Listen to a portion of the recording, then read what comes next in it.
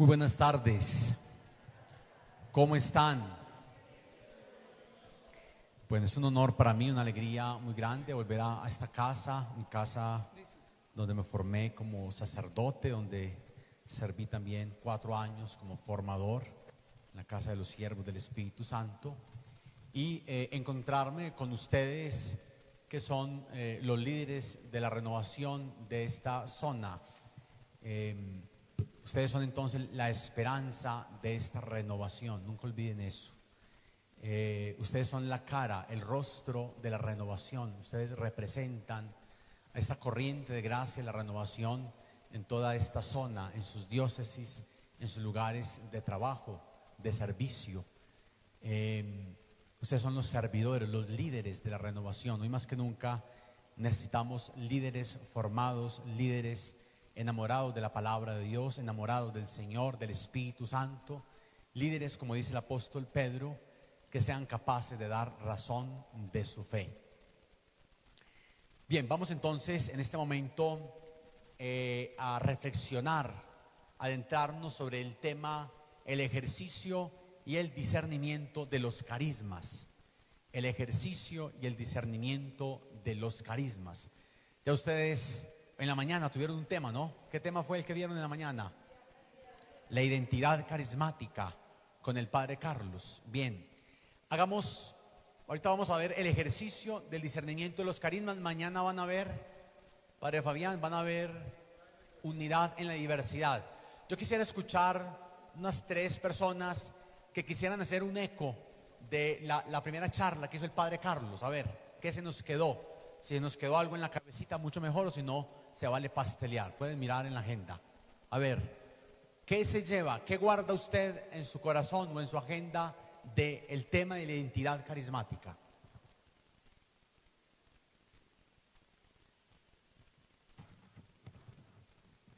Día uno.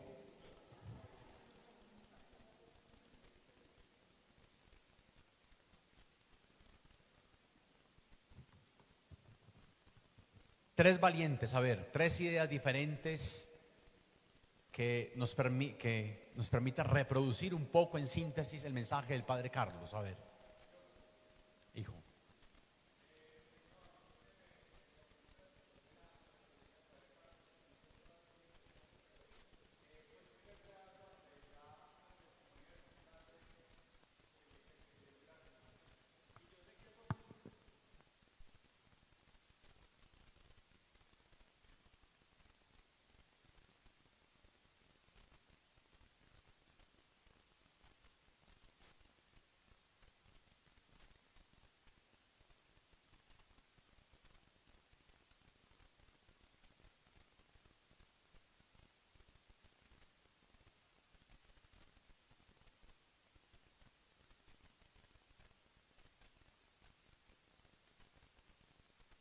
el testimonio de la experiencia carismática del Padre Carlos.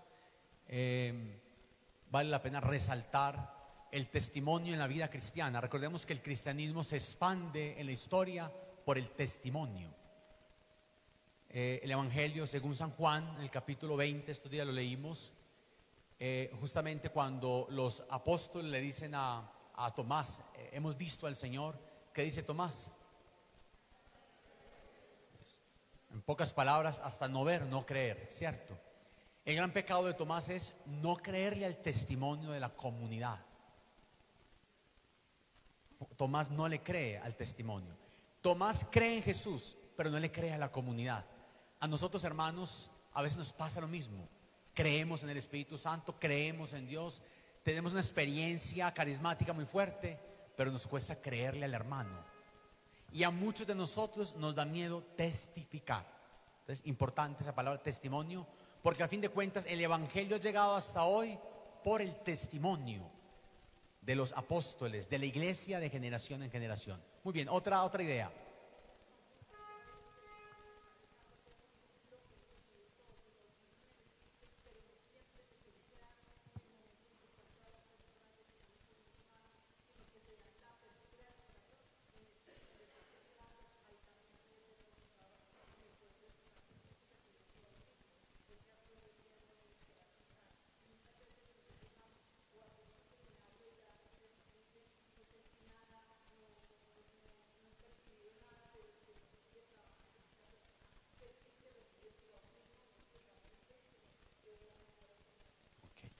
Otra hermana nos regala una palabra muy propia de nuestro vocabulario carismático. ¿Cómo se llama?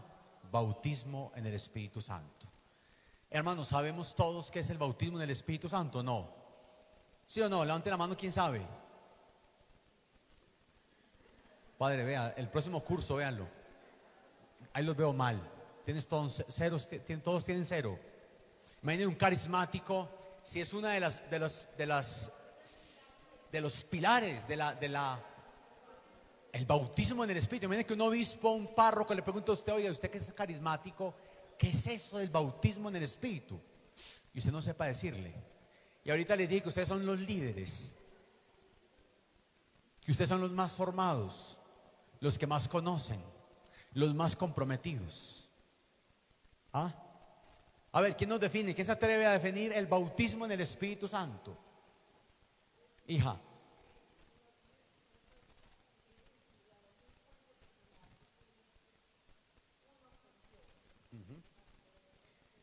Bien, una manera de definirlo es un encuentro personal con la persona de Jesús, con la misma Trinidad, con la persona del Espíritu, donde es un nacer de nuevo. Recordemos el texto, capítulo 3 de Juan, eh, donde Jesús le dice a Nicodemo, si no naces del agua y del Espíritu, no puedes entrar en el reino de los cielos. El nacer de nuevo. Ser bautizado en el Espíritu es eso, es, es, es tomar toda la vida cristiana, tomas, cobra sentido en nosotros. Cuando eso pasa en nuestra vida, yo puedo decir, fui bautizado en el Espíritu. ¿Es un segundo sacramento? Ah, bueno, importante es. Porque cuando usted le diga a un párroco que es un segundo sacramento, lo manda a quemar lo manda a la hoguera. Eso, reaviva, reactiva, renueva, transforma. Utilice la palabra ahorita, hace consciente. Me hace consciente de que soy hijo de Dios y de las promesas bautismales. Entonces, no es un segundo bautismo. Ok. Bien, una última idea. Madre.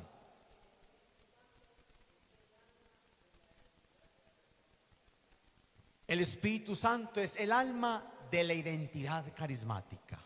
Es el alma. El Espíritu Santo es el alma de la iglesia. La iglesia sin el Espíritu Santo, queridos hermanos, es una empresa más. Es una empresa. Pero no es el cuerpo místico de Cristo. Con el Espíritu Santo es el cuerpo místico de Cristo. Entonces por eso el Espíritu Santo no es propiedad de la renovación carismática. Ahorita la señora decía enumerando los movimientos, que él era el autor de cada uno de esos movimientos. Es expresión muy bonita. Atentos hermanos, que nosotros toda la vida hemos corrido el peligro de creernos los dueños del Espíritu Santo. ¿Y somos dueños del Espíritu Santo? No, no, no. Le damos una trascendencia importante. El carismático tiene una relación personal con el Espíritu, tiene una apertura diferente quizás a muchos creyentes, pero eso no nos hace dueños del Espíritu. ¿Cierto? Algunos se creen la saliva del Espíritu Santo, ¿cierto? O el ombligo del niño Dios, por ser carismáticos, por tener ciertos carismas, no. El Espíritu Santo es el alma de la iglesia. Y por tanto es la que inunda toda la iglesia. Cada experiencia espiritual de la iglesia es movida por el Espíritu Santo cada experiencia en la iglesia. Entonces, hermanos, eso es fundamental. El tema de la identidad es muy importante porque justamente en la enumeración de tantos movimientos eclesiales que hay hoy en la iglesia y pueden seguir surgiendo, nosotros los carismáticos hemos corrido el riesgo de perder la identidad, de no saber quiénes somos y para qué el Espíritu Santo nos suscitó en la iglesia. Y nosotros tenemos una tarea muy especial, una misión especial. Reflexionar ese tema de la identidad, hermanos, es fundamental. Si tú no sabes quién eres y no sabes para qué fuiste llamado, no sabes cuál es tu visión, por ahí dice el dicho que el que no sabe para dónde va, cualquier bus le sirve. Si tú no sabes quién eres como carismático, como católico, entonces andamos en las nubes. Y por eso uno ve hermanos que hoy son Emaús, mañana son carismáticos, mañana son lazos, mañana son yo no sé qué cosa. Es muy bonito, es la misma iglesia, ¿cierto? Pero qué bueno uno tener una identidad, uno profundizar realmente, primero el ser de bautizado, el ser de católico, y segundo, si tú te haces llamar carismático, ¿qué significa ser carismático? ¿Y cuál es la tarea que Dios nos ha encomendado? Y para eso pues están los padres asesores que nos ayuden a entenderlo y a descubrirlo, insisto, en esta pluralidad de espiritualidades, de movimientos. Entonces es importante el tema. Entonces bien, testimonio, bautismo en el Espíritu y la persona del Espíritu Santo en la identidad carismática. Muy bien, yo quisiera también, antes de, adentrarme en el tema, que será una reflexión, eh, una profundización o quizás un repaso, porque uno esperaría que todos nosotros conozcamos este, estos textos, capítulo 12, 13 y 14 de Primera de Corintios. Yo quisiera también contar un poco, eh, a propósito del testimonio, cómo llegué yo a la experiencia carismática, porque cada experiencia es única, porque Dios actúa en todos nosotros de manera diferente. Bien, yo soy de un pueblo de acá del occidente Antioquia, no de este oriente, Quizás han oído hablar de Santa Fe, Antioquia. Nosotros es el pueblo más conocido, San Jerónimo. Mi pueblo cerca de estos pueblos se llama Evéjico. Eh, allí entonces me formé en una familia de campo sencilla, con un papá muy católico, en una fe tradicional de Eucaristía domingos, de rosario diario, ¿cierto? Un rosario que yo hacía de niño eh, a las malas y renegando. Pero que después, cuando tuve mi experiencia de fe, eh, pues le, tomó sentido, tomó sentido. A los 18 años, cuando terminaba ya mi colegio, con una vida muy normal como la de cualquier adolescente, de pronto a veces un poco desordenada en el tema afectivo, en la vivencia de la sexualidad, llegó un padre a mi parroquia, un padre diocesano. Este padre tenía un tinte carismático muy fuerte. Su predicación era muy carismática y este padre había sido párroco en Angostura. ¿No he hablar de Angostura no? ¿Qué es Angostura? Eso. Donde trabajó y murió y está el cuerpo del padre Marianito. Eh, este beato, sacerdote beato colombiano. De este padre impregnado por la espiritualidad del padre Marianito, por su sacerdocio, digamos, oraba mucho por sanación y oraba por liberación. A mí eso me impactó mucho. Yo pues nunca había visto un sacerdote que orara por los enfermos, que impusiera manos, que tuviera una predicación como, como tan viva, como tan diferente eh, a veces a las prédicas planas que escucha uno en lo típico de algunos sacerdotes. Una predicación muy experiencial, pero era una predicación muy moralista, el padre era muy moralista. Resulta que por ese moralismo del padre, por ahí me cogió a mí el Señor. Cuando yo empecé a escuchar al padre predicar en las misas, y en la radio, porque había una emisora en el pueblo que se escuchaba por todo el occidente. Entonces cuando yo me iba a trabajar a la finquita, eh, aunque no iba a misa, en todas las partes escuchaba la humildad del Padre. Y eran prédicas muy moralistas, esas prédicas que de pronto ya no hay o hay pocas, que hablan del infierno, que hablan del purgatorio, que hablan del cielo, de la condenación, del pecado. Eh, una, una prédica muy de choque. El caso es cuando yo, yo escuché a ese padre, yo dije, yo me voy a condenar, yo soy muy malo. Ahí me cogió un miedo, un desespero. Yo dije, no, yo, según el Padre, yo estoy condenado. No, yo tengo que convertirme. Yo tengo que volver a Dios. El Padre era muy bíblico. Y yo, recuerdo, me cogieron unas crisis, yo lloraba. Y yo veía como toda mi vida pasada, pues en esos cortos 18 años, y no, yo he sido muy malo, yo he sido muy impuro, yo he sido muy lujurioso, yo tantas cosas, miraba yo, y yo no, yo estoy condenado. Donde yo me muera mañana me condeno. Entonces, eh, así empezó mi experiencia y en una Semana Santa yo me confesé con el Padre. Me acuerdo que cerré los ojos y empecé a, contarle mis pecados y a llorar. Y este Padre me va a meter una cachetada, pero no le hace. Yo hágale, cuéntele, cuéntele lo que nunca había contado. Una confesión muy, muy sincera, muy del corazón. Cuando abrí los ojos, el Padre estaba como, asustado y, me felicitó, me dio un abrazo y me dijo, hijo, qué confesión tan bella la que has hecho, ánimo, sigue para adelante. Y ahí empezó mi camino de fe. Pues una fe consciente, siempre iba a misa, siempre con mi familia, las malas, rezaba el rosario. yo me creía un católico, pues normal. Después al tiempo surgió, paradójicamente, mientras tenía una novia, surgió el tema del llamado vocacional. Eso fue a la par. me enamoré de una muchacha y luego sentí el llamado al sacerdocio. Ahí fue la crisis, dejar la muchacha para poder entrar al sacerdocio. Entré y entré a Santa Rosa de Osos. Yo no entré realmente primero a los siervos. Yo no sabía que existía la renovación católica carismática. Entonces entré a la diócesis de Santa Rosa de Osos porque allí pertenecía a mi parroquia. Pero tenía esa inquietud, porque el padre era como tan diferente a los demás sacerdotes en su manera de predicar, en la oración por los enfermos, en la oración de liberación. Eh, había muchos testimonios de las personas que se curaban, eh, que eran liberadas. A mí todo eso me fascinaba, me inquietaba. Alguna vez escuché por allá a oídas al Minuto de Dios en Medellín con el padre Mario Montoya, eh, que hacían o hacen todavía un Juanca, el Juanca, el, encuentro carismático eh, antioqueño para jóvenes. Y yo fui a ese Juanca. Quizás el primer contacto directo con la renovación fue con el Juanca. Y para mí fue una cosa única, ¿no? Ver un un coliseo lleno de jóvenes, ver el ministerio de danza, ver el ministerio de música, ver al Padre que es una cosita chiquitica y con esa fuerza para predicar y esa unción. Y uy, qué bacano. Yo decía, qué rico ser, cuando sea sacerdote, ser como ese Padre, decía yo en ese momento, pero no sabía qué era. Una vez en el, seminario de Santa Rosa, que es un seminario pues diocesano, tradicional, una formación muy tradicional, por allá brujeando en la biblioteca me, encontré un libro que se llamaba, o se llama, conozca la renovación católica carismática por Monseñor Alfonso Uribe Jaramillo. ¿Y esto qué hace aquí por Dios? Entonces yo me saqué el libro, hasta el escondido lo saqué y empecé a leérmelo. Y ahí fue como la primera intuición que tuve la renovación. Y me comí ese libro, me lo leí. Y ahí estaban todas las fundaciones de Monseñor y aparecían a los siervos. Pero pues, en ese entonces creo que yo oraba más que ahora, yo oraba mucho. Y entonces eh, el obispo de Montelíbano mandaba a los seminaristas allá a Santa Rosa. Y una vez con uno de los muchachos me ve, yo conozco un, un, amigo, yo tengo un amigo que es de mucha oración como usted. Y es muy enamorado del Espíritu Santo. Ustedes dos se parecen mucho, me decía él.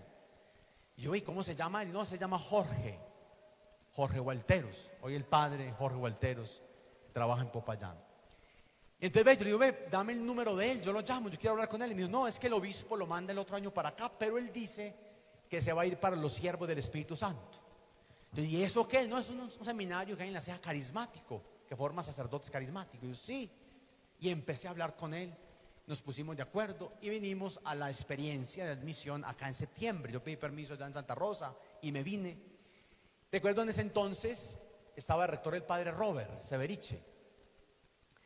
Y me marcó mucho una hora santa, pues más allá de la acogida, de la familiaridad que había en la casa de los siervos el padre Robert dice, bueno, vamos a orar, el que tenga carismas, eh, eh, explore esos carismas, el que ore en lenguas, ore en lenguas, el que tenga una visión, dígala, el que tiene una profecía, dígala. Y en ese ambiente tan bello, la renovación de oración espontánea y de esa vivencia de los carismas, yo escuchaba a uno que daba una profecía, escuchaba a otro que daba una palabra de ciencia, los otros orando en lenguas, y yo decía, ¿y esto qué es? Pues yo venía de un seminario diocesano. Pero yo me sentí tan bien, yo decía, este es mi lugar. Yo quiero estar aquí. Y, me sedujo entre todo eso, me sedujo esa experiencia, la recuerdo todavía como hoy, esa experiencia, esa hora santa, con el ejercicio de la experiencia carismática. Así entonces, pues hablé con el rector, hablé con mi párroco en su momento que me apoyó para entrar al seminario y no, yo me voy a pasar para la ceja. Y hice el paso al otro año para llegar a los siervos y así entré a los siervos del Espíritu Santo y entré con un hambre, con un deseo de explorar todo ese mundo carismático que para mí era misterioso, que yo no conocía, que incluso mi párroco cuando le dije me voy para la ceja, él me dijo, si se va para allá no le ayudo, me dijo. Cuando le dije, quiero ir a, a Juanca me dijo, no vaya por allá, que si se dan cuenta lo echan del seminario, me dijo. Y a mí antes más me gustaba. Y, me, movía así, pero ¿por qué? Si es una experiencia católica, porque el Padre me prohíbe que vaya? Porque es cohibido si es la experiencia de la iglesia y hay sacerdotes? me, me conmoví, como que más ganas me daba. Incluso recuerdo a Monseñor Jairo Jaramillo, cuando me iba a cambiar de seminario, me dijo, váyase para cualquier seminario, menos para los siervos, me dijo Monseñor Jairo. Entonces yo le dije, Monseñor, dígame por qué no me puedo ir para los siervos. Y me dijo, no, no le puedo decir. Entonces dije, Monseñor, con más ganas me voy con más ganas me voy. Si Dios me está llamando allá y me está llamando a la santidad y me está llamando al sacerdocio, allá creo que también lo puedo hacer. Entonces entré con, con esas ganas de, de conocer el mundo carismático, de conocer los carismas, de pedir los carismas, de tenerlos, de administrarlos, de servir. Y fue toda una escuela, el tiempo de los siervos que ahí me tocó era un tiempo de una efusión espiritual muy fuerte. No digo que ahora no la haya, pero tenía compañeros eh, con una experiencia de Dios muy profunda, muy fuerte, con un ejercicio de carismas ordinarios y extraordinarios que realmente te fascinaban. Te, eh, era una cosa, yo digo, llevo ocho años de ordenado, digo, para mí el mejor tiempo de mi vida fue el que viví en los siervos. Esos siete años de seminario fue para mí, eh, ha sido inolvidable por, la experiencia de gracia y la experiencia del Espíritu Santo que Él me regaló en ese tiempo. Y así entonces, en el paso del tiempo, claro, Dios fue derramando esos carismas, fui aprendiendo, fui conociendo, fui discerniendo, y bueno, eh, ya es un camino larguito eh, de acompañar la renovación, de amar la renovación, de sentirme carismático, aun cuando hoy presto mi servicio en el seminario diocesano de Marinilla, ¿cierto? Eh, allá estoy y estoy como siervo, como un hombre carismático con los jóvenes seminaristas de primer año. Y tenemos ese reto de ser luz allí, de decir, somos carismáticos, somos diocesanos, tenemos una identidad propia que no nos hace raros ni extraños, quizás sí diferentes en la manera de concebir y de vivir la fe pero no extraños, no raros. Entonces, hermanos, es un poco la experiencia, el camino a grandes rasgos para que ingresemos entonces a reflexionar este tema del ejercicio del discernimiento y discernimiento de los carismas.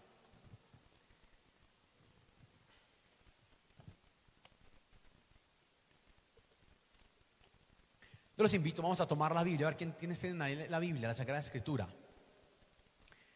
Recuerden que un creyente sin escritura es un soldado sin pistola. Uno de los frutos que enumera, creo, la, renovación nacional de, esta acción del Espíritu es el amor por la escritura, ¿no? El amor por la palabra. Tenemos que ser grandes enamorados de la palabra. Bien, vamos a ubicarnos todos entonces en la primera carta de San Pablo a los Corintios. Vamos a leer la palabra de Dios. La palabra de Dios pide ser leída. no es para cargarla en el bolso o no es para tenerla solamente abierta en la sala, en el Salmo 91, cargando polvo. No, la palabra pide ser leída. Ella quiere que la leamos, que la meditemos y que la proclamemos. Primera de Corintios, capítulo 12 verso 22 al 31. Quien tenga ya el texto, levanta la mano, por favor. ¿Quiénes lo tienen? ¿Ya lo encontraron? Bueno, dos personas, tres, cuatro, cinco, seis, siete, ocho, nueve, diez. Primera de Corintios, capítulo 12, versículo 22 al 31.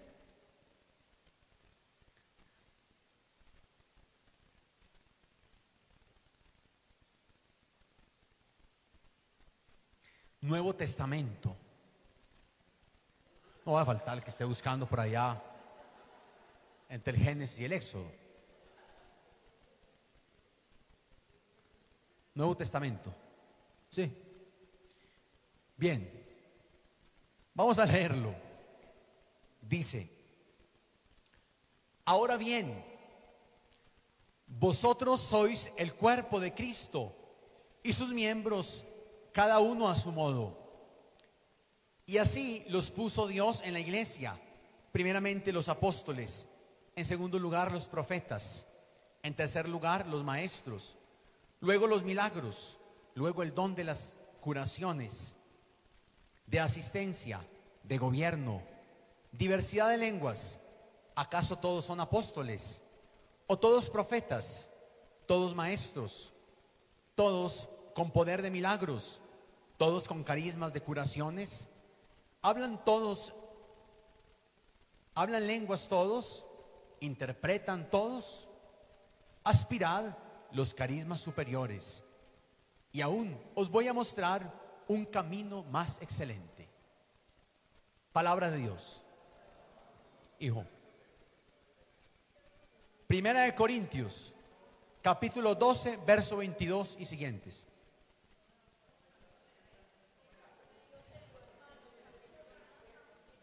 Ah, ¿cómo?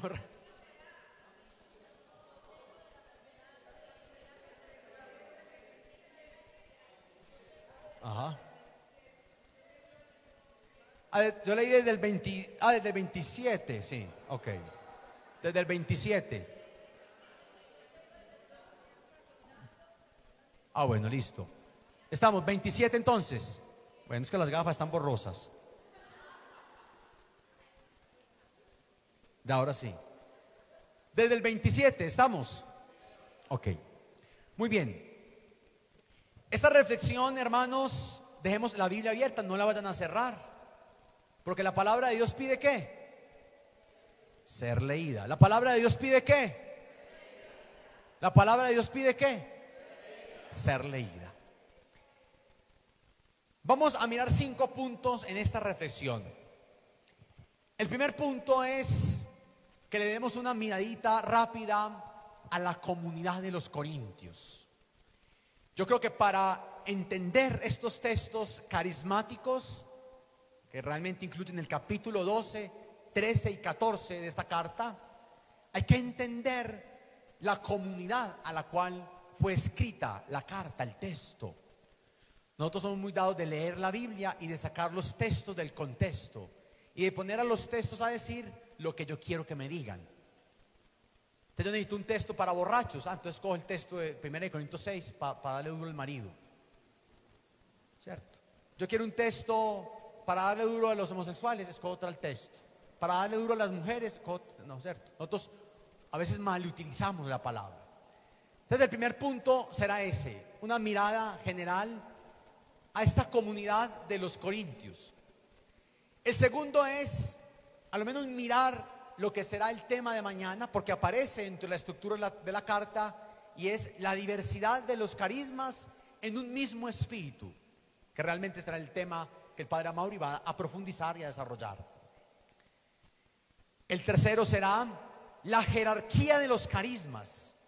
En estos textos Pablo plantea que hay una jerarquía de carismas.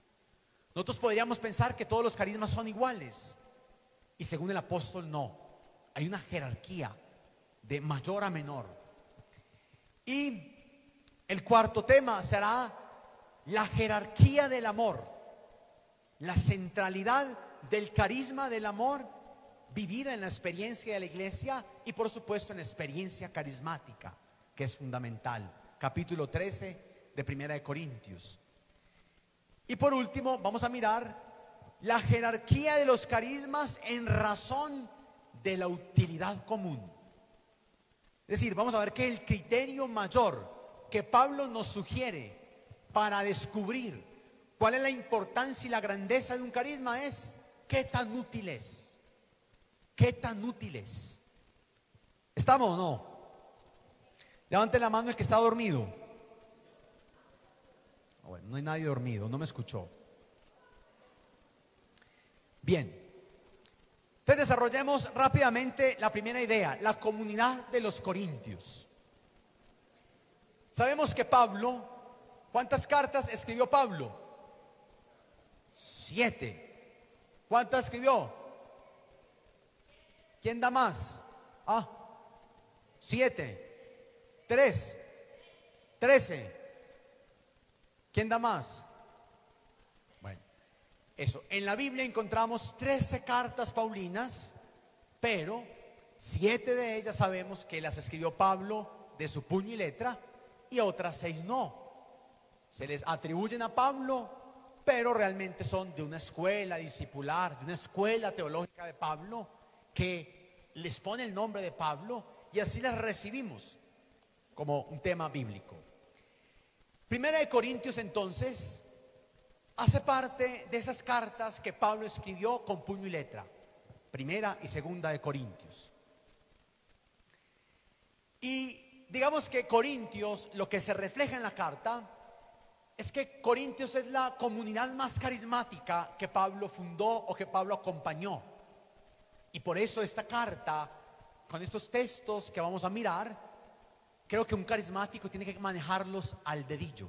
¿Cómo tiene que manejarlos? Al dedillo. ¿Qué significa el dedillo? Bien, al derecho y al revés. Un carismático formado debiera de conocer estos textos. Capítulo 12, capítulo 13, capítulo 14 de 1 Corintios. ¿Cómo? Al dedillo. Bien, al derecho y al revés. Esta entonces es la comunidad más carismática de Pablo, donde parece ser que hay, se expresan todo tipo de carismas. Incluso, iniciando la carta, en el capítulo 1, dice,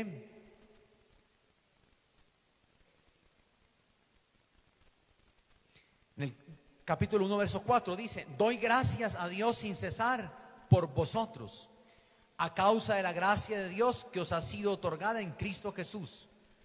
Pues en Él habéis sido enriquecidos en todo, en toda palabra y conocimiento, y en la medida en que se ha consolidado entre vosotros el testimonio de Cristo. Así ya no os falta ninguno don de gracia a los que esperáis la revelación de nuestro Señor Jesucristo. Ya no os falta dice Pablo, ningún don de gracia. Imagínense. Ya nos falta ningún don de gracia. Todo tipo de gracias espirituales se habían derramado en esta comunidad, se experimentaban y se vivían. Corinto entonces, para el siglo VIII antes de Cristo, era una ciudad desarrollada, una ciudad grande, no era un pueblito, no, era una ciudad. Con vocación portuaria. Quedaba en un puerto. Como todas las ciudades portuarias tienden a engrandecerse porque generan un flujo comercial. En los barrios bajos habían talleres de cerámica. Era una ciudad que se vio envuelta en guerras y que fue saqueada en el tiempo de Roma, arrasada en el 146. Era un centro turístico y de placer. Se convierte después del 44 en la capital de la provincia romana en Acaya, centro comercial, de gobierno y de deportes. Era una ciudad importante, reconocida por el tema económico, como epicentro político, por el tema comercial y luego tenemos allí una comunidad cristiana fuerte que acompaña el apóstol Pablo reconocida por la corrupción de sus costumbres. Se escuchaba constantemente la expresión corintiar. Vamos a corintiar. Una expresión común en aquellos tiempos. Era la manera de decir que vamos a Corinto. Vamos a Corinto. ¿Y a qué vamos a Corinto? Vamos a divertirnos, vamos a dedicarnos al libertinaje. Una ciudad pagana. Ya sabemos la cultura pagana, bien romana o griega, una, una, cultura eh, licenciosa en la vivencia de su sexualidad, eh, idólatra con diferentes dioses paganos. Entonces, ir a Corinto era un lugar de desorden. Era para ustedes ordenarse allá. En Corinto estuvo el apóstol Pablo en el año 50, donde estuvo casi dos años. Predicaba en la sinagoga, cada sábado, según el texto de Hechos 18, verso 4. El apóstol dice, iniciando la carta, vamos a buscar este texto, 1 Corintios 2, del 1 al 5. Quien encuentre, levanta la mano. Primera de Corintios 2, del 1 al 5. Primera de Corintios, eso. Si usted lo encontró, levante la mano. Eso. Levante la mano. Busque el texto, no le dé pereza. Búsquelo, léalo. Estamos aquí para eso, para leer la palabra. Bien, ¿quién lo quiere leer? Alguien que se ponga de pie y lo lea.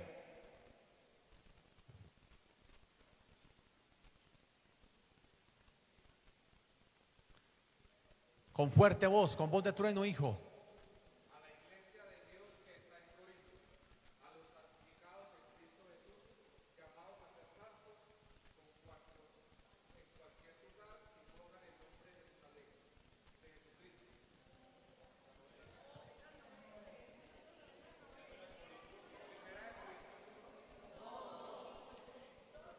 Dos del 1 al 5. Dice, pues yo, hermanos, sí.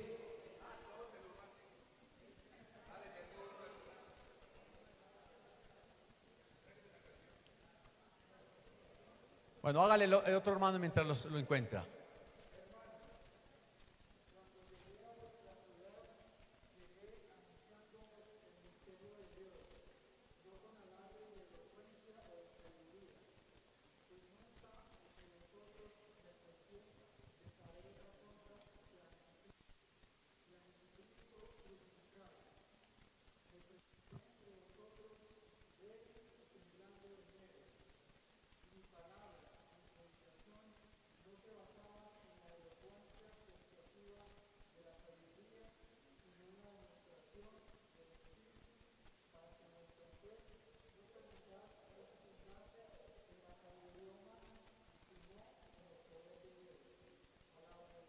Te alabamos, Señor.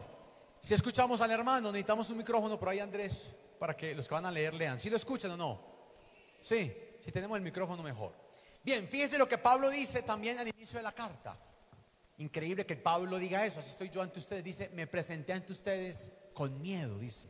Así estoy yo acá, con miedo, nervioso.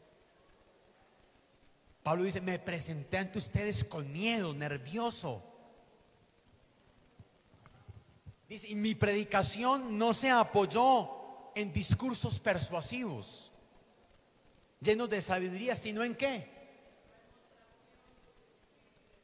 Sino en la demostración del Espíritu y de su poder. Oiga, qué bonito. La iglesia, en cambio, hoy cada vez nosotros presentamos el Evangelio con discursos persuasivos que a veces la gente no entiende. Pablo, en cambio, dice, y a veces llenos de, de, de orgullo de soberbia. Pablo, el gran apóstol Pablo dice, me presenté ante ustedes con miedo, tímido, como yo, tímido. No con grandes discursos elocuentes, sino como con la demostración del Espíritu y de su poder, para que vuestra fe se fundase en sabiduría de hombres, no en sabiduría de hombres, sino en el poder de Dios. Eso mismo lo podemos encontrar en 2 de Corintios 11, 6 o 12, 12 o Hechos 1, 8. Son textos que hablan del poder del Espíritu, de la acción poderosa y carismática del Espíritu. Segunda de Corintios 11, 6. Segunda de Corintios 12, 12 y Hechos 1, 8.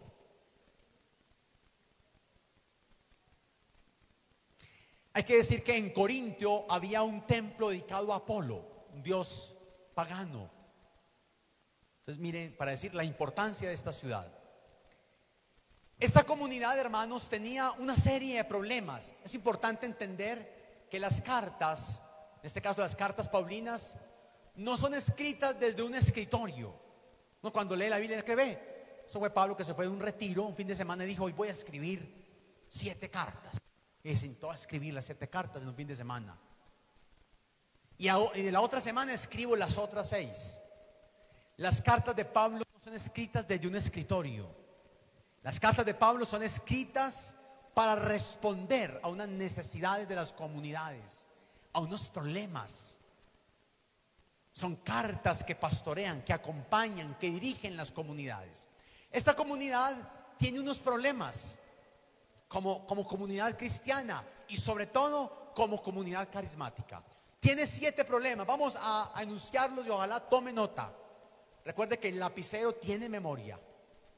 Es que yo soy muy inteligente y todo me lo grabo. Mentiras. Se lo graba en media hora. Aquí mañana le preguntan, no sabe nada. Y en conclusión, perdió el tiempo mi hijo. Escriba. Siete problemas tiene la comunidad de Corintios. Uno, hay un problema de divisiones. Hay grupos, sectas dentro de la misma comunidad. Problemas de divisiones. Del capítulo 1 al 4 podemos constatar eso. Es el texto donde dice Pablo, ¿cierto? Porque unos dicen yo soy de Apolo, otro de Pedro, otro de Pablo, ¿cierto? ¿Acaso no somos todos de Cristo? Del capítulo 1 al 4 podemos constatar el problema de división en los grupismos que habían dentro de la comunidad. Primera de Corintios, estamos hablando de Corintios. Pregunta, ¿será que en la iglesia actual, en la renovación, hay problema de grupismo, de división? Sí, ah, bueno. ¿Será que esta carta tan antigua nos puede decir algo hoy? Ah, bueno. Segundo problema, no nos detenemos ahí. El caso de un incestuoso. El caso de un incestuoso es un tema moral. Pablo denuncia que hubo uno que se fue a vivir con la mamá de su, con la esposa de su padre, es decir, con la madrastra. Un tema de incesto, un tema moral, a lo cual Pablo dirá que lo expulsen de la comunidad. Pablo no anda con, con medias tintas, es un hombre radical. Segundo problema, ¿cuál es? El caso de un incestuoso. Capítulo 5, allí pueden confrontar, leer después con tiempo el texto. Tercer problema, el problema de los pleitos civiles. Pleitos civiles, ¿cómo así, padre? Sí, pleitos, peleas civiles. Pablo denuncia y dice que por qué los cristianos cuando tienen un problema entre ellos van a buscar un juez. Si lo primero que debiera hacer es, ¿qué? Corrección fraterna. Hablen ustedes. Dice Pablo, no tiene un juez civil por qué decidir las cosas de los cristianos. ¿Será que eso sigue pasando entre nosotros? Capítulo 6, allí puede usted profundizar ese tema. Problema cuarto, el tema del matrimonio y de la virginidad. Pues no es que sea un problema el matrimonio ni la virginidad. ¿Cierto? Digo yo que son los temas y son la exhortación que Pablo da. En el capítulo 7, Pablo asume estos dos temas. Un, texto incluso que se asume para discernir el tema del celibato sacerdotal, el tema de la virginidad, el tema del matrimonio, de Pablo dirá que cada uno se mantenga como Dios lo llamó.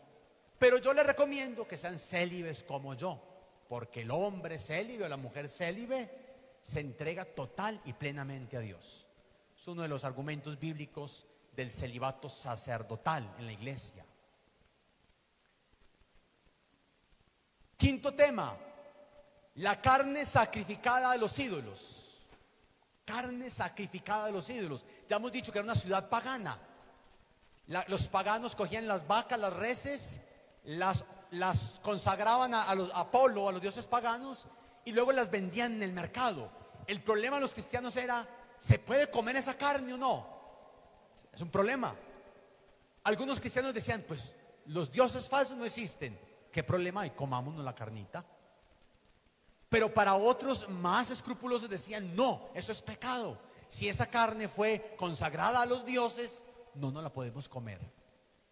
Pablo entonces resolverá el problema, viene en la carta o viene en la carta de los romanos diciendo, donde Pablo habla de los fuertes y de los débiles.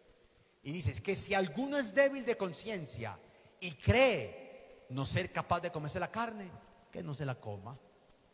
Pero si otro es fuerte de conciencia y dice, los dioses no existen, pues yo no creo en Apolo, dice, no hay problema. Es decir, cada uno actúe conforme a su recta conciencia. Ojo hermanos que en la iglesia y en los movimientos sigue pasando lo mismo. A veces nos llenamos de pecados que no existen. Son dos extremos. O anulamos el concepto del pecado o empezamos a ver pecado donde no hay. Todo es pecado. Todo es malo. Y uno dice, la vida como es de dura, ya seguir a Cristo es duro. Y le vamos a añadir más normas a la vida. No. Cojamos, hermanos, lo esencial y lo importante, lo trascendental. A veces nos vemos en los grupos divididos por bobadas, por pequeñeces. Que si lleva la falda roja, si la lleva blanca, si lleva la cruz de tal manera, si no la lleva, si lleva el pelo suelto, si no son bobadas. Mantengamos lo esencial. En el sexto problema entra nuestro tema, el orden en la asamblea. el capítulo 11, del 11 al 14, que es donde encontramos estos temas de los carismas, se están incrustados en un gran tema y es el orden en la asamblea. ¿Cómo debe ser el comportamiento del creyente dentro de la asamblea litúrgica? Ese es el contexto de estos textos del, del 12 al 14, que son textos eminentemente carismáticos. El orden en la asamblea. ¿Cómo ejercer los carismas dentro de la asamblea? Capítulo del 11 al 14. Es el gran tema, pero el tema eminentemente carismático está a partir del 12, 13 y 14. Bien, y el último problema, ya para centrarnos en lo que nos toca, es el tema de la resurrección de los muertos, en el capítulo 15. Iniciando el cristianismo, todavía habían muchos que dudaban de que Jesús había resucitado y de que los muertos resucitan. Y el último capítulo lo dedica Pablo en la carta a exhortar, a corregir, a reafirmar de que Cristo ha resucitado. Y por eso dirá, si Cristo no resucitó, vana es nuestra fe. Esa expresión está en el capítulo 15. Bien, ahí le dimos la miradita a la comunidad de los Corintios. Diversidad de carismas en un mismo espíritu. Es el tema que el Padre Mauricio va a desarrollar mañana. Yo no me voy a meter en él. Solamente lo enuncio como en esta gran estructura que la misma carta lo sugiere. En el capítulo 12, del 1 al 11, está el tema de la diversidad de carismas en un mismo espíritu.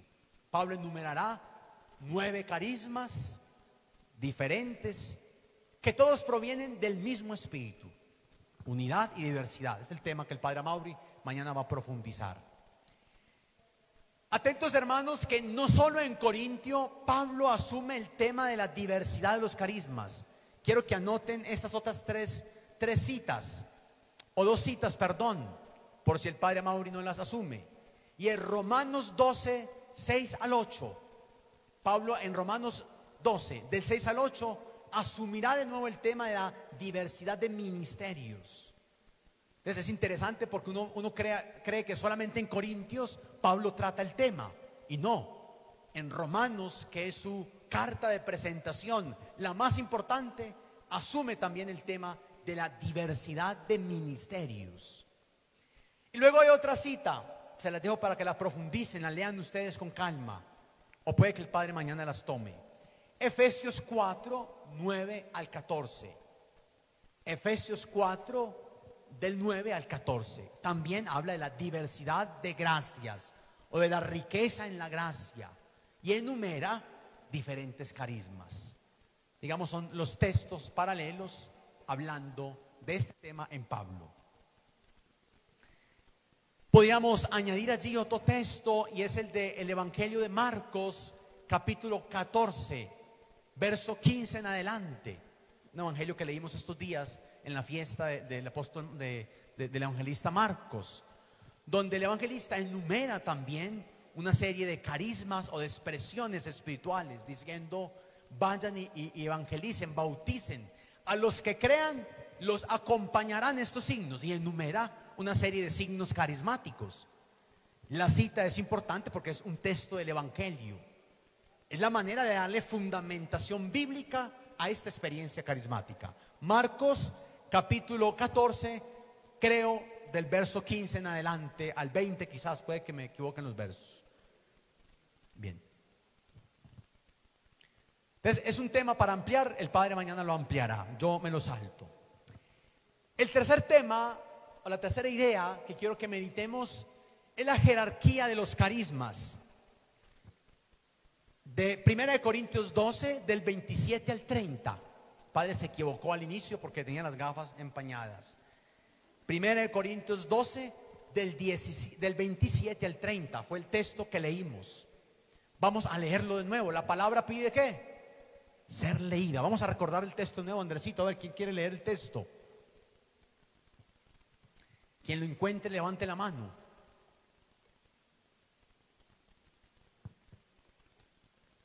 Ahí está, vea. Escuchemos la voz de la niña. Ya escuchamos dos hombres, escuchemos la voz de la muchacha, que es la riqueza femenina en la iglesia.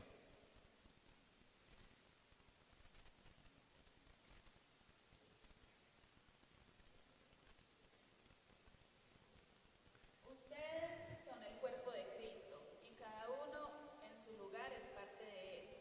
En primer lugar están los que Dios hizo apóstoles en la iglesia. En segundo lugar los profetas. En tercer lugar los maestros. Después vienen los milagros, luego el don de curaciones, la asistencia material, la administración de la iglesia y los diversos dones de ley. ¿Acaso son todos apóstoles? ¿Son todos profetas? ¿Son todos maestros? ¿Pueden todos hacer milagros, curar el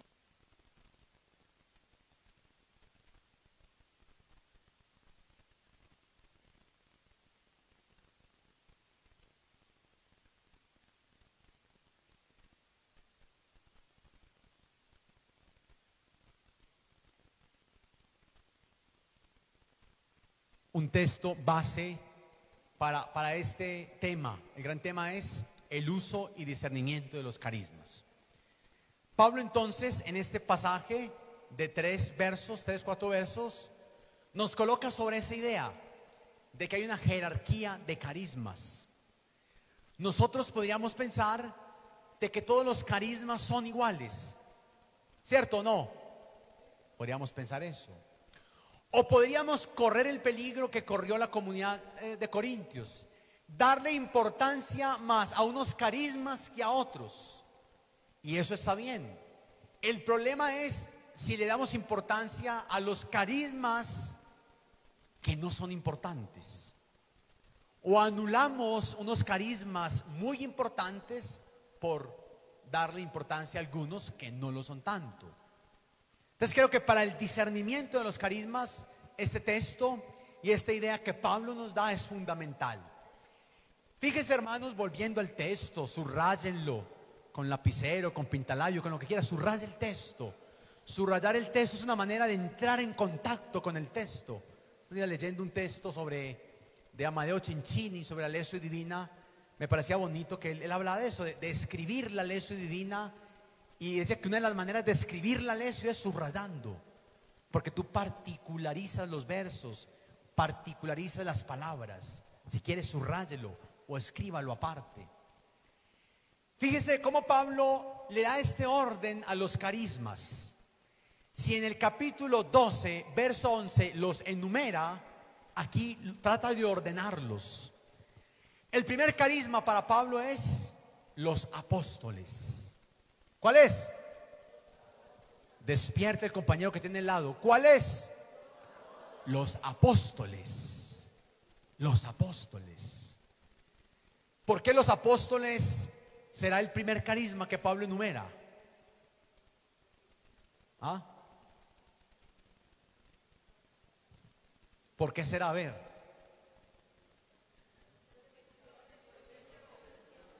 ¿Por qué? Tuvieron la experiencia con Jesús. Caminaron con Jesús. La comunidad inicial es una comunidad apostólica. Los apóstoles son las columnas de la fe. Sin los apóstoles no estuviera la fe cristiana. Los apóstoles tenían la tarea de testificar, como ya lo hemos dicho, de anunciar. Hoy leíamos en la primera lectura a Pedro que daba un discurso ante la multitud. Ustedes mataron a Jesús. Dios lo resucitó. Es un testimonio, una proclamación apostólica. Recordemos que a Pedro Jesús le dijo, Mateo 16, 18 y siguientes, tú eres Pedro, sobre esta piedra edificaré mi iglesia. En San Juan 21 le dice, Pedro, apacienta mis ovejas. Le da una autoridad especial a Pedro y por supuesto a los demás apóstoles. Entonces Pablo tiene bien decir, primero los apóstoles. Segundo, dice los profetas. Los profetas. ¿Y qué es un profeta? A ver, ¿quién me dice? Piénselo. Un profeta es el que anuncia. Bien, ¿qué más? Uno que denuncia. Bien. ¿Qué más? Habla en nombre de Dios, instruye. Muy bien. Fíjese que Pablo pone en segundo lugar los profetas. Y diría yo, no tanto el profeta, no todas veces tenemos, hablando de los, de los carismas proféticos, allí metemos los carismas de revelación, ¿no? La ciencia, el conocimiento, la visión, que pueden estar. Pero eso, el, el sentido profético inicial en la Biblia es el que habla en nombre de Dios, el que lleva un mensaje. Por eso cuando uno lee los libros proféticos, constantemente ellos dicen esta expresión, oráculo del Señor. Es decir, Dios habló. O llegó la palabra de Dios a mí. Claro, cuando uno ve a los profetas como Eliseo, como Elías, o algunos otros, tienen también visiones, tienen sueños, experiencias carismáticas. Pero la palabra profeta auténtica es el que anuncia un mensaje, el que habla palabra de Dios. Lo pone en segundo lugar. Tercer lugar, ¿cuál es? Los maestros. Si ustedes se dan cuenta, los tres primeros carismas en grado de importancia, según Pablo, los tres tienen que ver con la palabra. Apóstoles, profetas y maestros. ¿Qué hace un maestro? Enseña. Enseña con la vida y enseña con la palabra. Levanten la mano aquí cuántos son maestros. Bien, bajen la mano. ¿Cuántos quieren ser maestros? Todos. Ah, bueno, algunos no. ¿Cuántos son profetas? Levanten la mano. Pero hay algunos muy tímidos.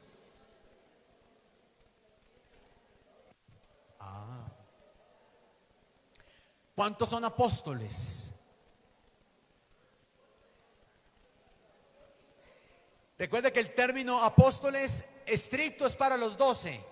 En términos generales, apóstol en griego, apóstolos, significa enviado. En un término más amplio, todos también somos apóstoles, ¿cierto? Porque somos enviados a anunciar. En un término estricto, son los doce, ¿cierto? Son los doce. Bien, Luego al centro eh, coloca estos dos carismas, carisma de milagros y carisma de curaciones, en el cuarto y quinto puesto. Cuarto y quinto puesto, milagros y curaciones. Milagros y curaciones. Cuando yo empecé esa experiencia carismática, yo empecé a pedirle a Dios milagros y curaciones. Señor, yo quiero hacer milagros. Empecé a pedirle a Dios el don de lenguas. Recuerdo, yo era obsesionado con el don de lenguas. Empecé a pedirle a Dios el don del descanso en el espíritu. Yo quería tumbar gente como un, como un, como un qué, ¿cómo es que se dice? Como un remolino de viento, como un. Ahí me llama mucho la atención que Pablo ponga aquí, en el cuarto y quinto puesto, curaciones y milagros. Es decir, no los pone de primeros, los pone en el cuarto y quinto puesto. Curaciones y milagros. ¿Quién tiene el carisma de milagros? Alguno no, no, no está. Curaciones. ¿Hay alguno que tenga el de curaciones? La madre tiene don de curaciones. Ojo hermanos que en este discernimiento de carismas no es orgullo, es vanidad. Hay que saber yo que tengo. Santa Teresa tiene una expresión muy bella, dice, la humildad es la verdad. La humildad es la verdad. Yo creo que es importante en el camino de fe y carismático, ¿cuál es mi carisma? A mi Dios que me dio. Yo cómo le sirvo a la comunidad. Porque si tú no sabes qué carismas tienes, entonces tú no sabes dónde vas a servir. ¿Cómo le puedes servir a la iglesia, a tu comunidad? ¿Será que somos carismáticos sin carismas? Una cosa es la ambición de los carismas, querer los más grandes, los más vistosos. Otra cosa es tenerle miedo a los carismas. ¿Será que ustedes son líderes carismáticos con miedo a los carismas? Que no saben qué tienen. O no saben qué carisma les gustaría. Porque yo creo que Dios le da a uno a veces lo que uno quiere, no siempre, pero todo parte del deseo. Santa Teresita decía esta expresión muy bella. Todo lo que Dios me ha querido dar, me lo ha permitido desear. Decía Santa Teresita. Todo lo que Dios me ha querido dar, me lo ha permitido desear.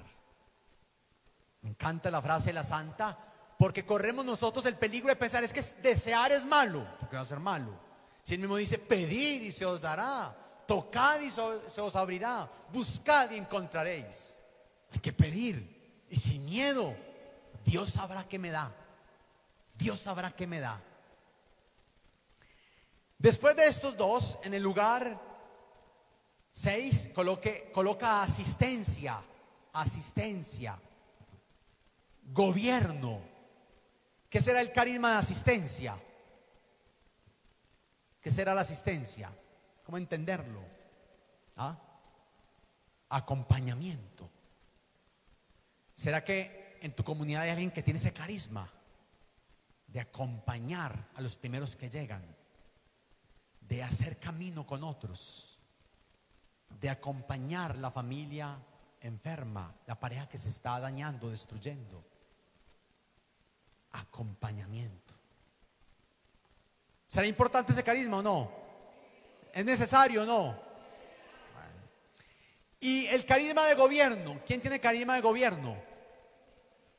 ¿En qué consiste el carisma de gobierno? Ah.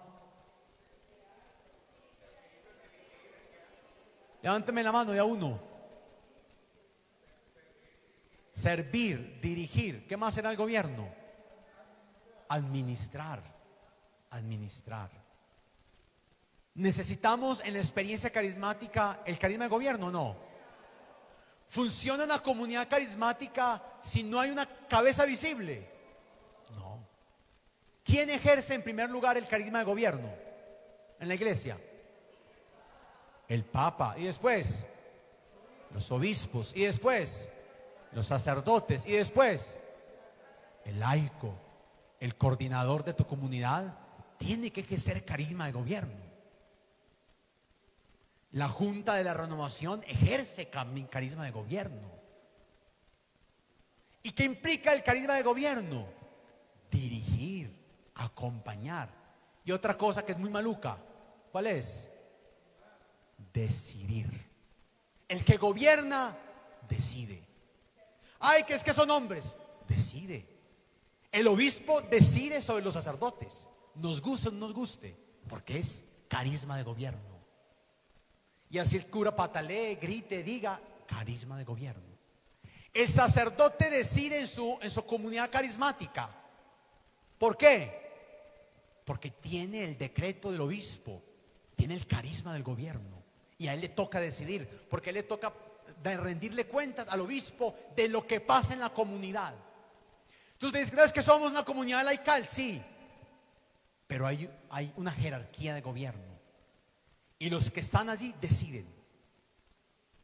Porque tienen carisma de gobierno.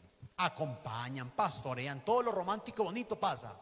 Pero lo duro también pasa. Ese es el carisma de gobierno. Y hay gente que nace para eso. Hay otra gente que no. Le da miedo, le da pena, le da vergüenza, le da tristeza, le da depresión. No, el que tiene el carisma de gobierno sabe cuándo y cómo decidir y lo hace de la mejor manera, aunque le siga doliendo al cristiano. Cuando Pablo dice en el capítulo 5, hablando del incestuoso, él dice, a ese tal ya dicho, sáquenlo. Él decide. Ay, pero Pablo, ¿cómo hace eso? Carisma de gobierno, es que es la cabeza de la comunidad. ¿Quién más ejerce carisma de gobierno? Usted en su casa como papá y mamá no ejerce carisma de gobierno. ¿Qué pasa si usted no ejerce carisma de gobierno en la casa? se le convierte, hermano, el hogar, nada. Sus hijos necesitan quien los dirige y quien decida muchas veces por ellos. Es que yo ya puedo decir, no, en este caso no, yo decido por ti, porque eres mi hijo, porque eres menor de edad, porque no te conviene, o simplemente porque no quiero. ya. Y termina, esto sí lo subrayo de negrilla, en el último escalón pone Pablo, ¿cuál carisma? El don de lenguas. La otra vez en Ibagué, en una misión puerta a puerta, llegué donde una, familia pentecostal. Y dice, señora, ven, venimos de la iglesia, en nombre de la parroquia, venimos a, a compartir un ratico de oración. Y digo, no, yo no creo en la iglesia porque es que ustedes no oran en lenguas. El Espíritu Santo solo lo tienen los que oran en lenguas, me dijo el pentecostal. Y le dije yo, si usted supiera, si usted en verdad supiera que si oramos en lenguas. Para Corintios parece ser entonces que el carisma más importante era orar en lenguas, como para los pentecostales hoy. El carisma más visible, más llamativo, más atractivo era orar en lenguas, como lenguaje angelical. Y por eso Pablo lo coloca al final de la fila, como para decirles, no señores, no es el más importante. Y por eso vale la pena entender ese orden de esa jerarquía de carismas. No es el más importante y ahorita lo veremos por qué.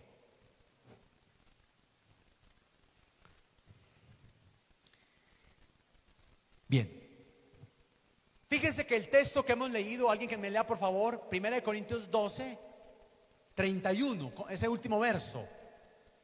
Que lo tengo, ¿sí?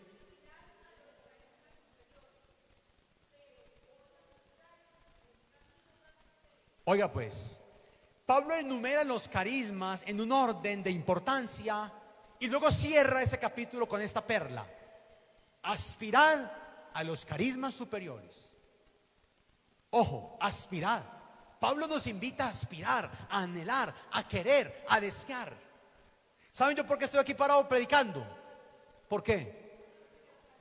Porque un día yo aspiré, recuerdo que en el testimonio le conté, que rico un día estar como el padre Don Mario en una tarima. Yo lo aspiré. ¿Saben por qué fui a Roma a estudiar Biblia y conozco Biblia, doy clase de Biblia? Porque aspiré. Yo siempre añ- añoré conocer la Sagrada Escritura. Puede que no me la sepa de memoria, pero la he rayado mucho. Lo aspiré. Lo aspiré. ¿Por qué soy sacerdote? Porque lo aspiré. Dios me llamó, sí, pero yo aspiré. Yo recuerdo que cuando iba yo en la mitad de la etapa de formación, terminando filosofía o discipulado que hoy llaman, yo no había pensado bien en serio si yo quería ser sacerdote.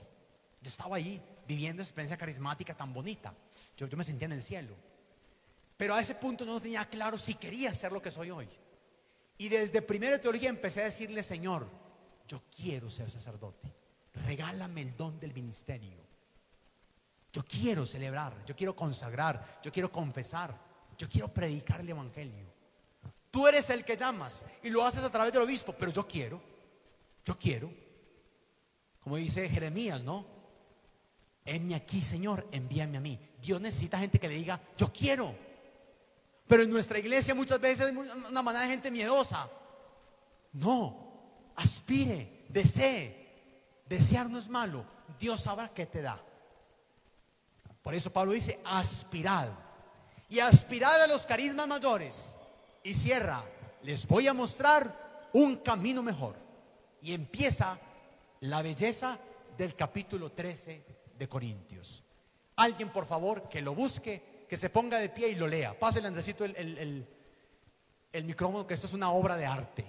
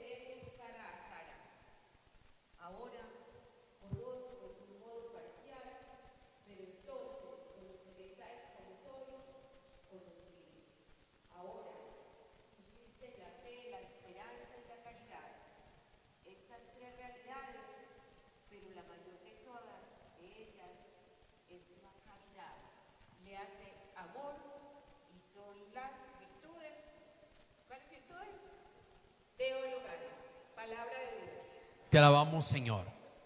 Rápidamente, un minutico, vamos a hacernos allí por parejas.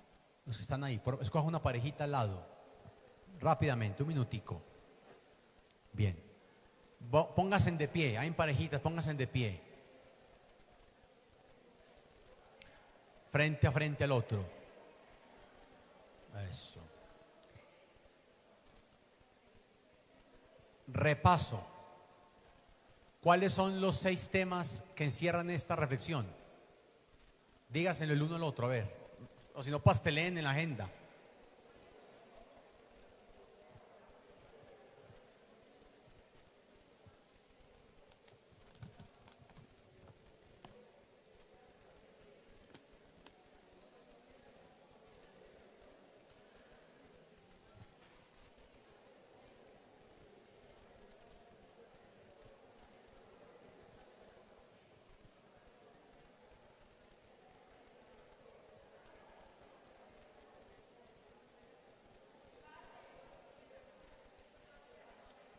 Seis temas, yo enumeré seis temas de toda la reflexión.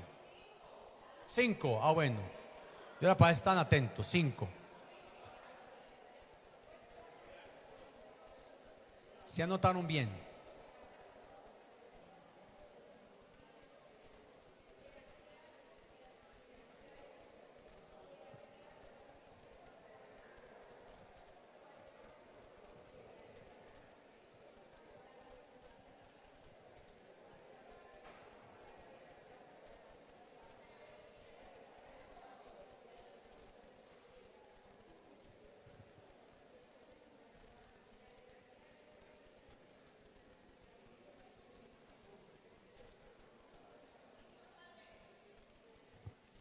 Listo.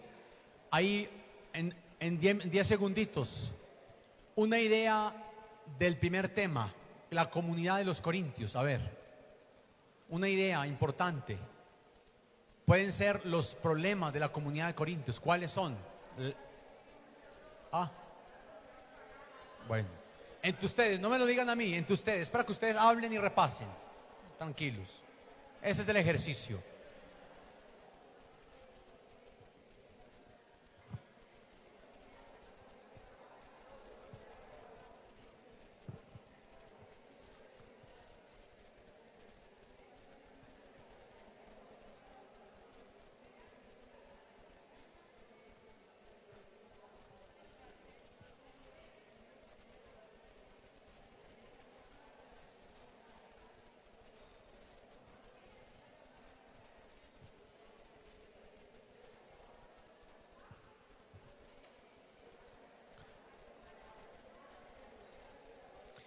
Bien, en el segundo tema, ¿cuáles son los textos bíblicos que hablan de la diversidad y unidad de carismas en un mismo espíritu? Tres textos, cuatro textos, repáselos ahí.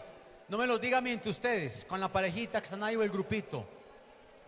Repáselos.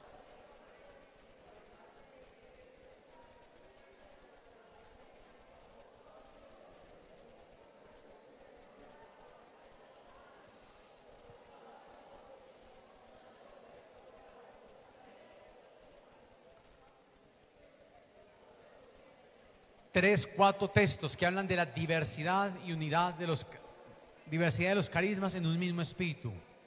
Bien.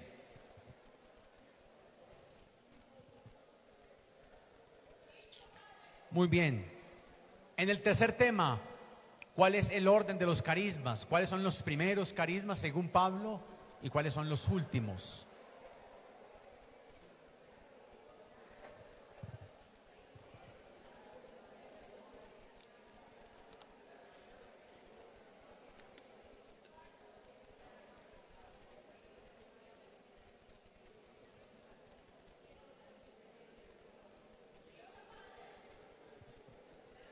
¿Listo? Muy bien. El que termine se puede sentar. Los que terminen se pueden sentar, los demás siguen hablando, repasando.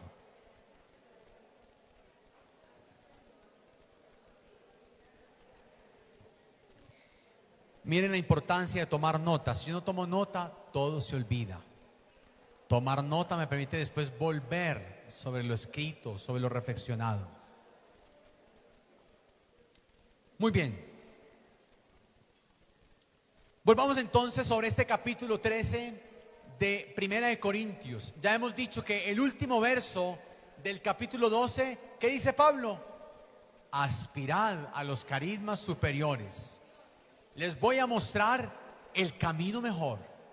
Y viene esta perla, esta perla bíblica, una obra de arte literaria, el capítulo 13, el himno al amor, el himno a la caridad. Pablo compara una serie de carismas con el amor, con el amor, reafirmando que quien tenga estos carismas y no tenga amor, nada que, nada es, de nada le sirve, imagínense, de nada le sirve. O en otra expresión dice, nada soy, nada es. Todo carisma hay que exponerlo, dejarlo pasar bajo la luz de la experiencia del amor. O si no, usted puede orar en lenguas, puede curar enfermos, levantar muertos, puede pararse en la cabeza, haga lo que usted quiera. Pero si no tiene amor, ¿qué? Nada soy.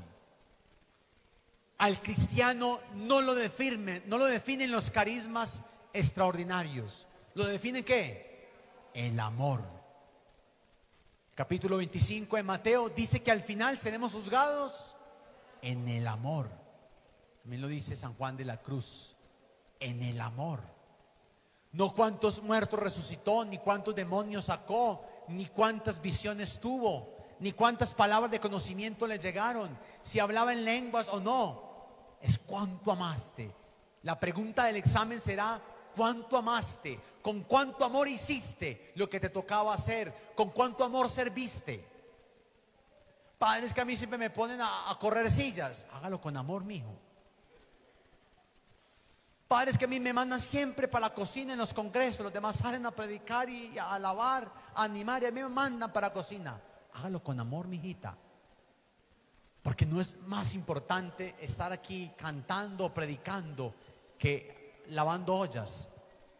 Si yo estoy aquí predicando solamente por vanagloria y por orgullo, de nada me sirve.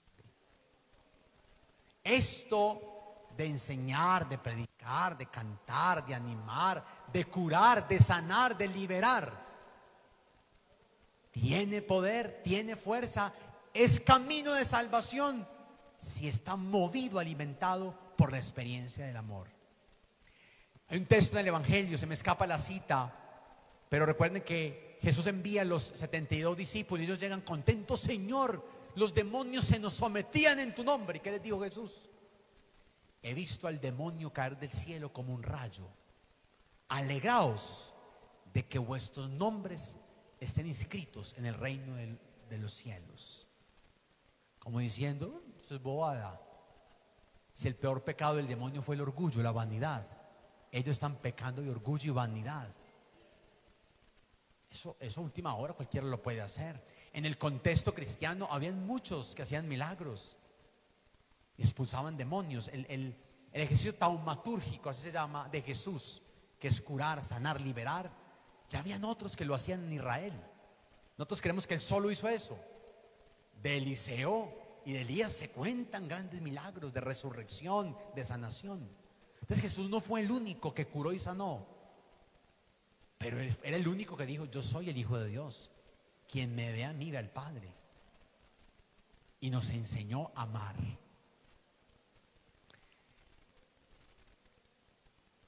Enumera entonces el carisma de las lenguas, diciendo lengua de los hombres o lengua de los ángeles. Pone allí las dos realidades. Puedo hablar la lengua de los hombres, muchas lenguas.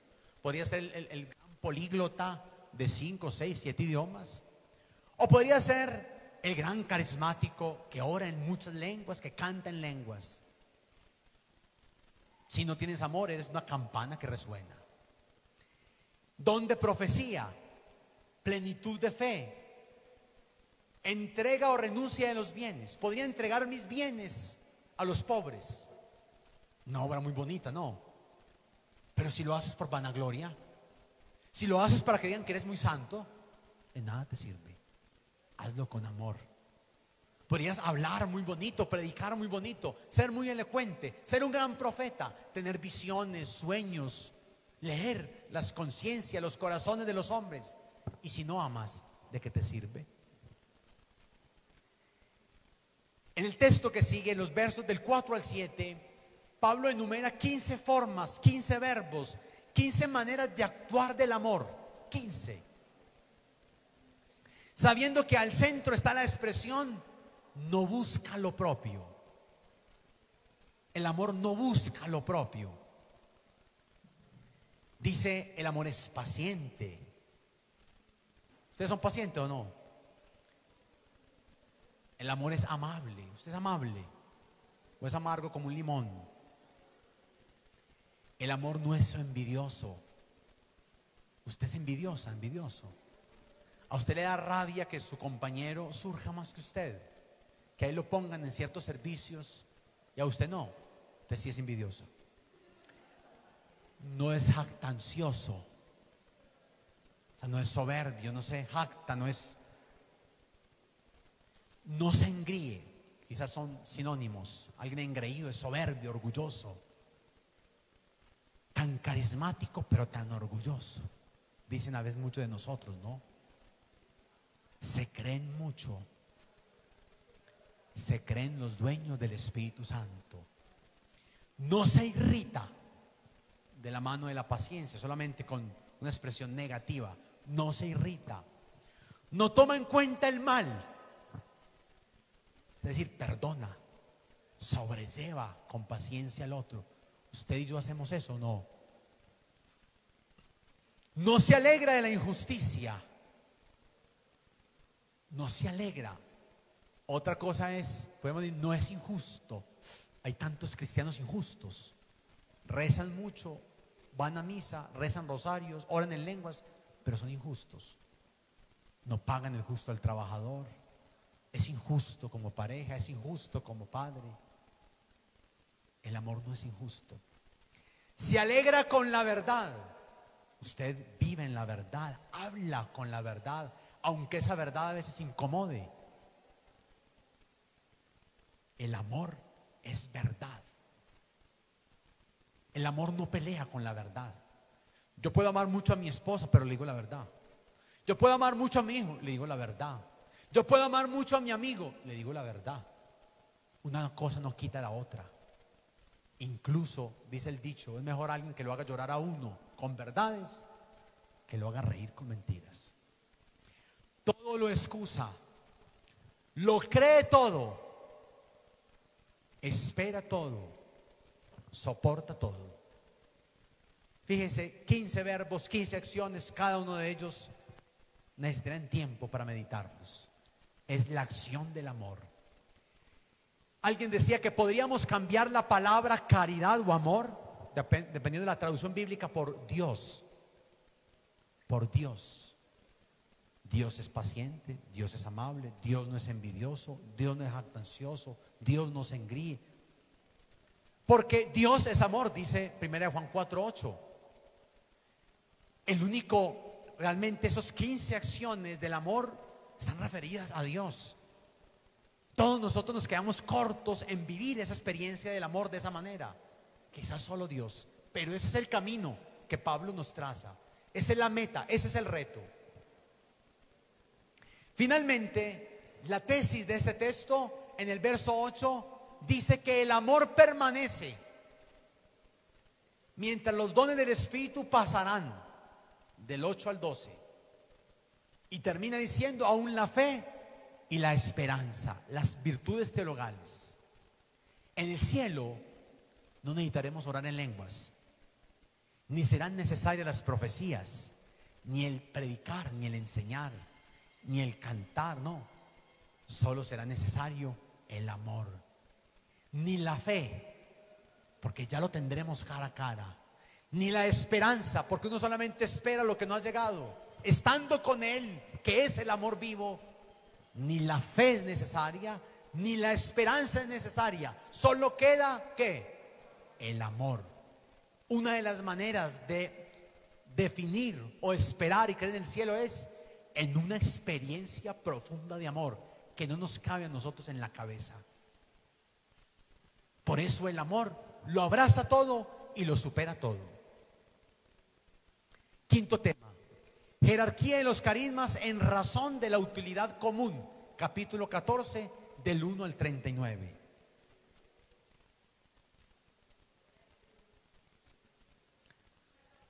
Primera de Corintios, capítulo 14, versos del 1 al 39.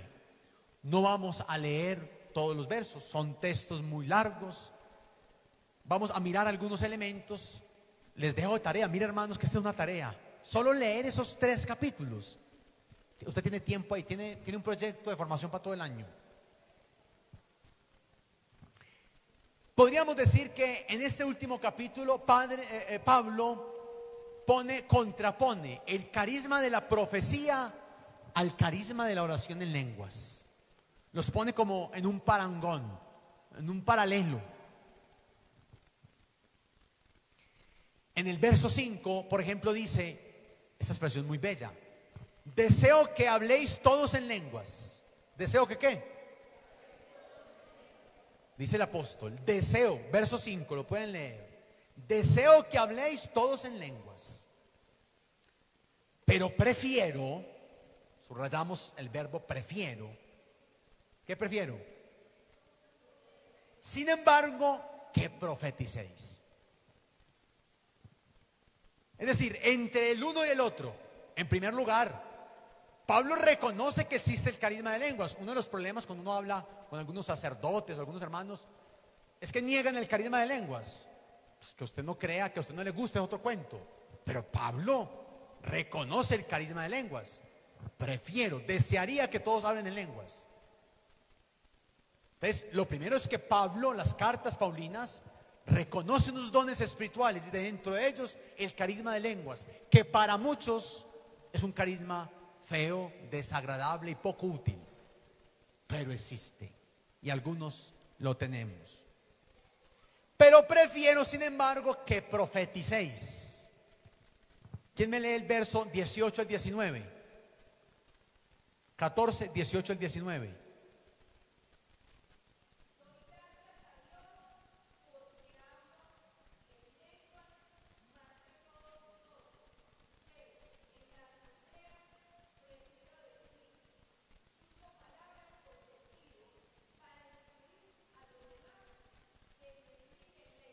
Eso, ahí está.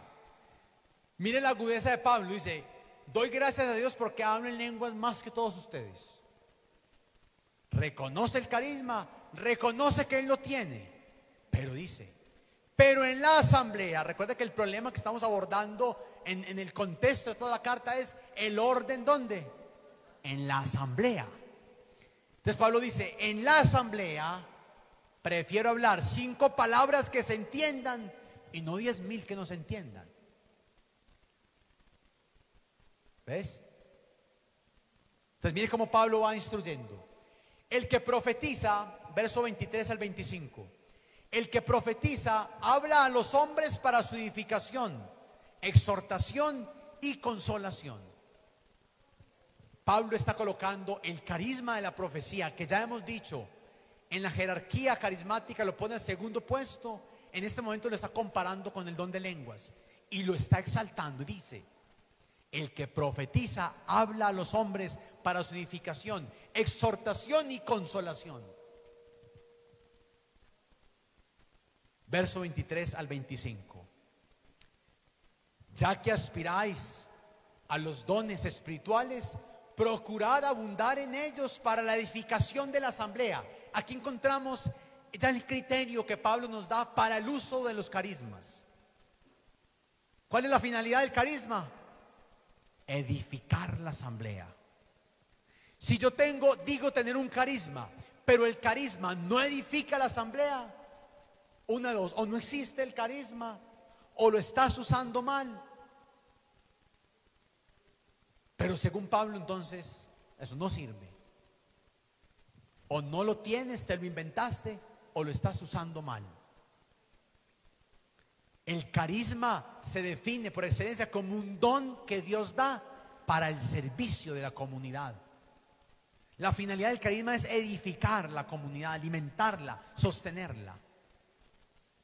De allí entonces el uso de cualquier carisma tiene que ser usado en esa dinámica para edificar. Si yo digo tener un carisma, pero estoy dañando la comunidad, vuelvo y digo, o no lo tienes o lo estás usando mal. Podríamos volver así a la regla del amor. Si no tienes amor, de nada te sirve, nada eres. Verso 12 y verso 13. Quien habla en lenguas, pida el don de la interpretación, dice Pablo. ¿Cuántos aquí interpretan? A veces le queda uno la duda en nuestras asambleas carismáticas. Muchos oramos en lenguas, pero pocos interpretan. Es normal a veces en un grupo de oración, en una asamblea carismática, cuatro, cinco, muchos oramos en lenguas, pero no hay quien interprete. La iluminación que Pablo hace es quien tenga el don de lenguas, que interprete también, o que haya otro que interprete. Porque en lo que ya hemos dicho antes, Pablo dice, ¿para qué hablar diez mil palabras si nadie las entiende?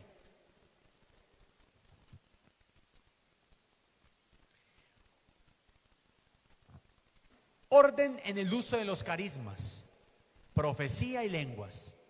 Dios no es un Dios de confusión, sino de paz. Leamos en la Biblia el verso 32 y luego el verso 39 al 40 del capítulo 14. Verso, capítulo 14, verso 32 y verso del 39 al 40. Levante la mano quien lo tenga, por favor. Recuerde que la palabra de Dios pide ser leída, hermano.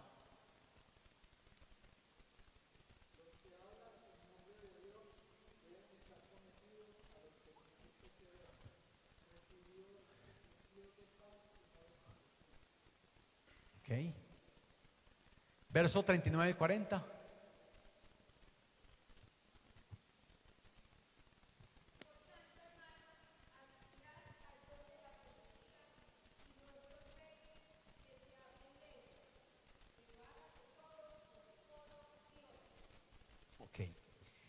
Fíjense que el capítulo lo termina Pablo hablando del, de un Dios de paz y de orden.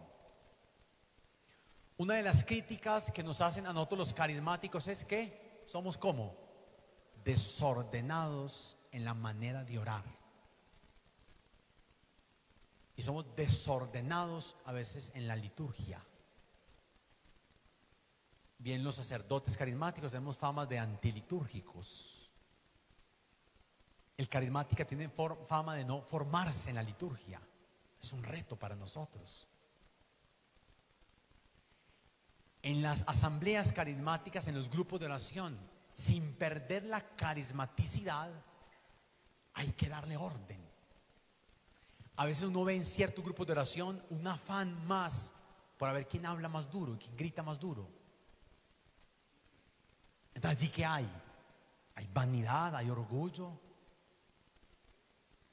con los ministerios de música, con el respeto de los músicos que merecen, normalmente se ve eso.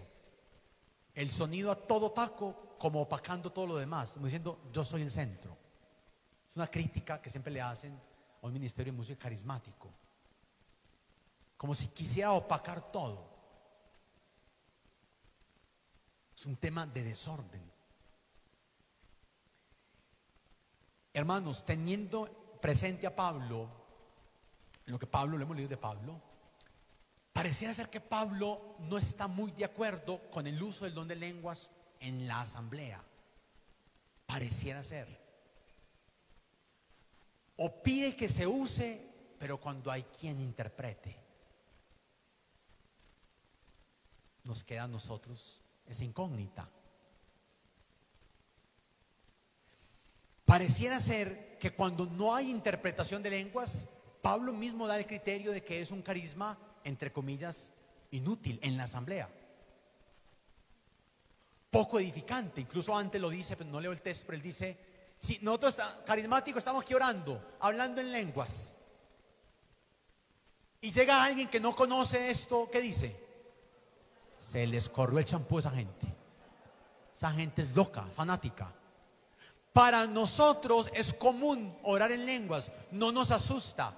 Incluso en la asamblea carismática, yo lo siento así, alguien me podrá decir algo diferente, motiva la alabanza, jalona la alabanza. A mí me parece que el carisma en un uso pastoral, en uso pastoral, el carisma de lenguas motiva la alabanza, levanta la asamblea. En otro uso pastoral lo he experimentado así. En la liberación el, el carisma de lenguas tiene una fuerza muy grande. Pero vuelvo y digo, ahí es donde nos falta a nosotros discernimiento para usar los carismas. Una señora me decía, padre, es que yo siempre que voy a comulgar tengo que responder amén en lenguas. Fanática, usted está loca. No, o sea, no, no tienes, como que tengo. Dios no te quita la libertad. Padre, es que ahí me llaman por teléfono y siempre contesto en lenguas. Está loca, está loca. Los primeros, el primer minuto que hablo, yo soy en lenguas. No, no, está, no, no, sea, así no es. No, no funciona. Tú no tienes que orar en lenguas para que otro escuche y sepa que tienes el carisma de lenguas. Desde ese punto de vista, el otro uso del carisma es mi oración personal. Si usted está en su habitación, en la palabra de Dios, quiere hacer un momento de alabanza, hermano, pares en la cabeza, arrodillas en tapas de gaseosa, ore como usted quiera. Está en su aposento, en su intimidad. Y seguramente nos sentimos edificados. Pero creo entonces que el espíritu del texto es, como hemos ido concluyendo en el verso, es, nos falta orden. Falta orden. Falta humildad en el uso de los carismas. Falta amor en el ejercicio del mismo. Falta discernimiento para determinar qué tan edificante es un carisma en cierto lugar y en el contexto donde yo me encuentro. Repito, falta amor en el ejercicio de los carismas. Falta orden. Y Dios, dice Pablo, es un Dios de orden y de paz. Falta discernimiento para saber, hombre, yo tengo este carisma, llámelo como usted quiera, donde lenguas, profecía, eh, de manera extraordinaria, visión, donde ciencia. Yo no todo lo puedo ir diciendo en cualquier lugar y a cualquier persona. Es que Dios me dijo, sí, pero, pero también pasa por tu razón, pasa por tu discernimiento. ¿Dónde? ¿Cuándo? ¿Cómo? ¿A quién? A veces nosotros confundimos la carismaticidad nuestra, eso con la imprudencia, con el fanatismo, con la locura. Y eso, hermanos, es lo que muchas veces le, hace, le ha hecho daño a la misma renovación en nuestras diócesis y en todo el ambiente eclesial. No porque los carismas sean malos, no porque los carismas no existan, no porque los carismas no sean importantes, incluso no porque muchas veces la iglesia jerárquica, el obispo, tu párroco o X sacerdote no crean en los carismas, sino porque te han visto a ti o a algunos otros dándole mal uso, incluyendo hermanos sacerdotes. Les decía, termino volviendo a la idea que les dije al inicio, hermanos, ustedes son la cara de la renovación. Si usted es fanático y loco, eso van a decir de la renovación en su parroquia. Si usted es un tipo centrado, una mujer centrada, que lee la palabra de Dios, que se forma, que sabe dónde está parado, que conoce su iglesia, que conoce la liturgia, pero que tiene una experiencia carismática, te respetarán, te admirarán, te escucharán. Pero si eres un loco, si eres una persona que no se forma, que no conoce, capítulo 12, puede ser que el padre Mauri lo suma mañana, 12.1 creo dice, empieza con esta frase, no quiero hermanos que andéis, andéis en la ignorancia con respecto a los carismas. Así empieza el capítulo 12. No quiero hermanos que andéis en la ignorancia con respecto a los carismas. Pablo quería que ellos conocieran. Como les decía en mi testimonio, yo quería conocer. Yo quería probar, yo quería mirar. Pero quería formarme. Vuelvo a la historia de mi testimonio. ¿Saben cómo terminó el- este padre que fue mi promotor vocacional, mi referente? Terminó expulsado de la iglesia. ¿Saben por qué? Porque su carisma de liberación, no formado, no acompañado, no trabajado dentro de la iglesia. ¿Sabe cómo terminó? Terminó en un espiritista, en un chamán, mandando aguas, mandando hierbas, mandando vomitivos y viendo el diablo por todas partes. Un sacerdote. Y era un tipo de oración a las 4 de la mañana. Creo yo, de pronto con un orgullo muy grande, una soberbia muy grande y un hombre muy solo. Para él no existía obispo, no existían hermanos sacerdotes, no había fraternidad, no había nada.